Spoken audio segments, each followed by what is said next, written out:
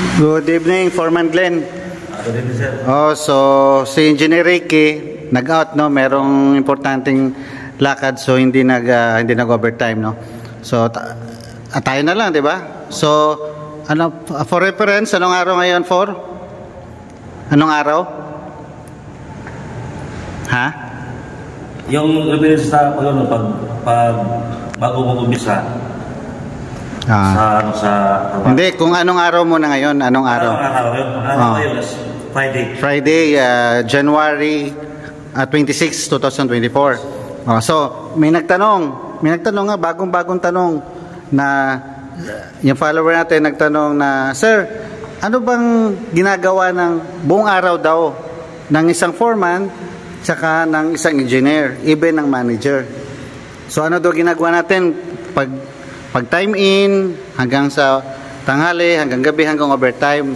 So ikaw muna as foreman, anong ginagawa mo pag umaga after time in? So pag umaga, ano, kanta ko na ng ano, toolbox meeting. Toolbox meeting, very good. Sa mga tao.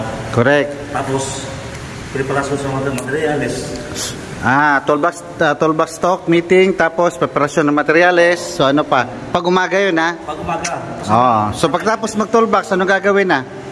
So, yun, mag, ano, mag, mag-exercise. Exercise. Hindi, kaya nga, exercise. Pagtapos nun, Pagkatapos, yun, mag, ano, mag-assign sinong, sinong na-assign dyan sa, ano, sa homeworks, sa rebars. Ah, okay. So, mag magman power loading, sabi ni Foreman. Oh, pagtapos ng toolbox, safety toolbox stock, tapos mag mag mag, mag-designate na siya ng mga tao niya. Tapos, yun na, mag-supervise ka na nun, Foreman, ano? Oo, kasi Okay. Tama. So, tama yung sinabi ni Foreman. Ganun talaga ang mangyayari pagka foreman ka. Ngayon, ako mo sasagot sa engineer, di ba? Yes, so, yung engineer, ganun din, pag umaga, walang pinagkaiba.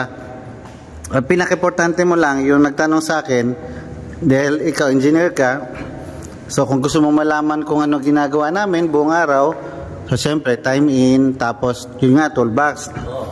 Pinaka-importante, maumaga, matanghali, at ma-overtime is yung first hour. First hour sa umaga. Siyempre, hindi mawala yung toolbox. Tapos, yung materials, very good foreman.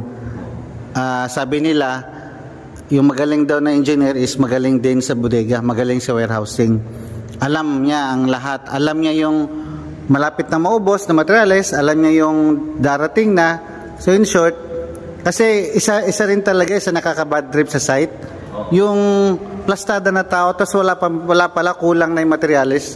Yun nakaka-bad trip yun dahil nakakawala ng ano ng momentum. 'Di ba? So first hour sa umaga kasi ganun pa rin eh plan versus actual so meron tin- may tinatawag tayo na look, one week look ahead. So from Monday to Saturday even Sunday yun ang hahabulin mo na schedule. Plan yun versus actual.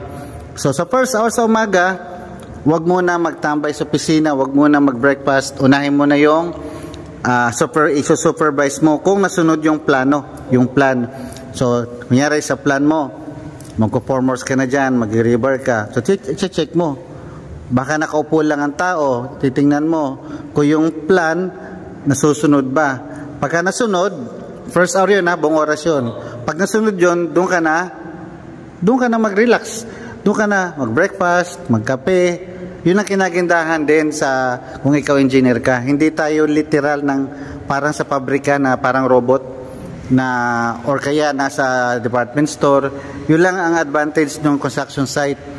Pagtapos mong ma-verify yan na running smooth yan, pwede na. Pwede na tayo na palakad-lakad na lang, meaning mag-rubing ka na lang. Rubing na lang.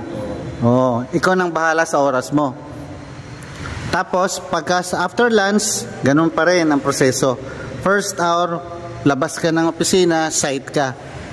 Ti-check mo. Kasi yung iba, hindi natin alam, walang materials, walang krudo, walang kurete, etc. May mga problem, uupo lang yan, mag-uupo lang yung mangunguya ko yun yung mga trabante natin.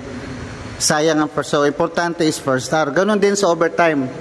Pag overtime, first hour pa lang, kunyari 6 ang start ng ano ng overtime, rubing ka first hour. Tingnan mo kung tingnan mo yung ano yung mga plastada ng mga tao. Tingnan mo. Tapos minsan kasi yung kuryente, kunyari yung ilaw, Ang tagal, hindi nila, di ba? Yung iba nakaupo na lang kasi wala pang ilaw, isa yan. Oo, lahat ng trouble dapat ma-check mo yun sa first hour. Pag second hour, doon ka na mag-relax. 'Di ba? Wala nang mag-ano sa iyo doon, ikaw nang bahala sa oras mo. Okay? Yan yung kung site engineer ka. Pero kung manager na ka, iba naman. Iba naman. Oh, so, ako, kagaya ko, project manager. Kagaya ko, pag umaga, pag time in ko, baliktad naman. Yung mga site engineer ko, first hour, nandun sila sa site, nag-monitor, ako baliktad. Pag manager ka, first hour mo, nandun ka sa opisina, magpipirma ka. Pipirma mo muna yung mga dapat pirmahan. Pagtapos nun, check mo yung, monitor mo yung laptop, bubuksan mo, check mo yung kung anong ano, kung ano yung mga email, mga etc.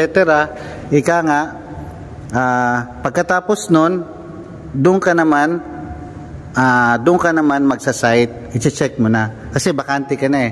Yun ang pinagkaiba na, pag manager ka o construction manager ka, first hour mo sa umaga, hindi ka sa site.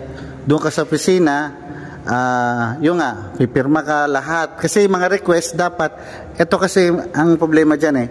Pag first hour pa lang, hindi na pirmahan ni manager, wala na, hindi na iikot yun. Hindi, kunyari, kailangan pumunta ng opisina yung papel, eh, maghihintay pa yung messenger nyo dahil wala ka pang pirma, nado ka sa site eh. ba? So yun lang pinagkaiba. The rest, kung sa second hour na, the rest sa hapon at overtime, magkapareha pa rin. Pinaka-importante ang first hour. Okay? Okay, sir.